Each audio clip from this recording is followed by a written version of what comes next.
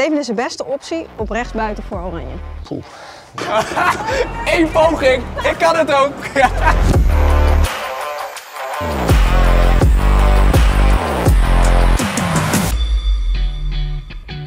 Welkom bij Buiten de Lijnen, een speciale EK-editie waarbij we niet langs gaan bij een speler, maar bij de achterban. Want hoe beleven zij straks het EK en leeft het een beetje in de familie? We zijn in Deventer voor de familie Berghuis. Vader Frank, voormalig profvoetballer, heeft ook ooit één interland gespeeld. En het jongere broertje van Steven, Tristan heet hij, is hier assistenttrainer bij Go Ahead Eagles. Leek lang zelf af te gaan op een profcarrière. Een echte voetbalfamilie dus. Hallo, hallo. Goedemiddag. We zijn bij Go Ahead. Ja. is het begonnen voor, voor Steven. Ja.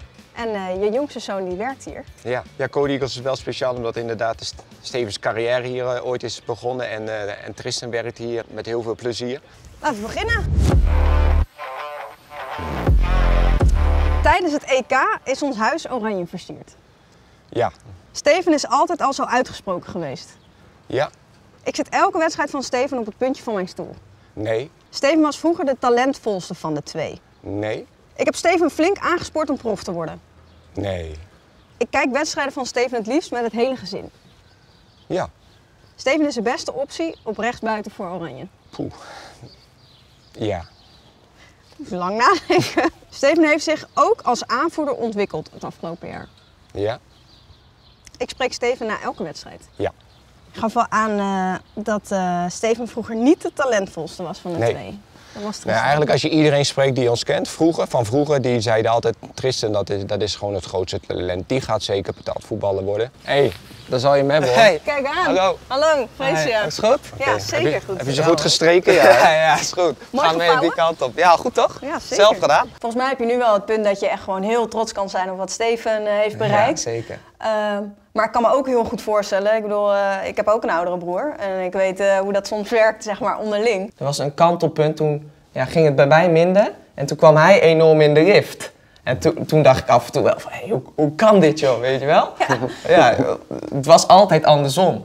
En, maar eigenlijk vanaf dat moment, en ik heb nooit het gevoel gehad dat ik daar jaloers op was of zo. Ja, want eigenlijk in Nederland is het super normaal om op jonge leeftijd al een bepalende speler te zijn. Om te gaan met hele hoge verwachtingen. Ja. Hoe zie je dat in Nederland? Want dat is eigenlijk vanzelfsprekend, vinden wij. Ja, ja ik moet zeggen, de, de, op jonge leeftijd is er al best wel wat druk op, op eh, eh, jonge voetballers. Van de omgeving, van ouders, van, van club. Er wordt heel veel gevraagd, heel veel verwacht.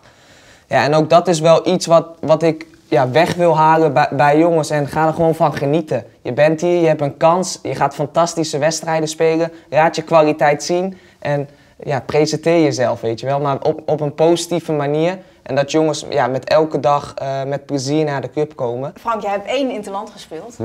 Wat betekent dit shirt voor jou? Want het was tegen Brazilië. Ja, voor mij is dat wel een heel bijzonder shirt. Misschien denk ik wel het mooiste shirt wat ik kan bedenken. Ik vind het Braziliaanse volkslied ook erg mooi. Dus, dus dat deed me ook echt wat. Ja, dat deed me echt wat. Meer dan het Wilhelmus. Ja, ja, ja. Ja, ik was al lang blij dat ik een shirt had. Ja, precies. Want ja, ze renden na de wedstrijd niet naar mij toe van... Hé, hey, wil je ruilen?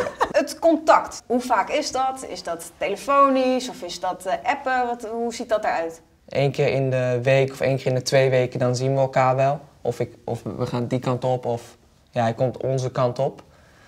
Ja, nou, verder gewoon dagelijks contact via, via FaceTime. En als je weet dat hij zich bijvoorbeeld voorbereidt op een belangrijke wedstrijd, op wat voor manier zoek je dan contact? Of laat je hem juist? Nee, nee, we, we hebben vooraf altijd wel even contact, wat hij ook zegt, met de FaceTime. En soms probeer ik hem nog wel eens eh, tips te geven of zo. Dan zeg ik van de linksback dekt wel door of niet door, weet je wel. Mijn broer heeft natuurlijk nu ook een dochter. Dus dan komen ook wel eens filmpjes voorbij, weet je wel, als ze dan buiten zijn of op het schoolplein of, of speeltuin of wat dan ook. Dus dat is wel, dat Ja, zijn wel dat leuke klopt. dingen. Ja. En straks het EK, hoe gaat die periode er voor jullie uitzien? ja, we gaan die wedstrijden zeker wel eh, bezoeken in de, in de arena. Dus daar gaan we, gaan we zeker naartoe. Ja. En de andere wedstrijden, de, ja, die zullen we thuis gaan kijken. Maar dan denk ik, zoals ik net al zei, dan zullen we dat ja, gewoon bij elkaar doen. Want we willen goed die wedstrijd zien. Zeker nu hij eh, erbij betrokken is. En, dan, en dan zullen we die wedstrijd zo kijken. Ja, En als we het hebben bijvoorbeeld over appen, wat is het bijvoorbeeld het laatste appje wat jij hem hebt gestuurd? ja gisteren, ja, ik vroeg welke, welke zonnebril, wa- waarvan die zonnebril was die de laatste keer op had. Ja. Die vond je wel nice. Nee, ik kreeg een verzoek hier van, van een speler. Die wilde weten van waar, waar die zonnebril van was. Dus dat toevallig vroeg ik gisteren aan hem, ja. Mannen, bedankt voor jullie tijd en uitgebreide mooie verhalen. Dit was eh, de achterban van Steven Berghuis. Op naar een mooi EK, zou ik zeggen.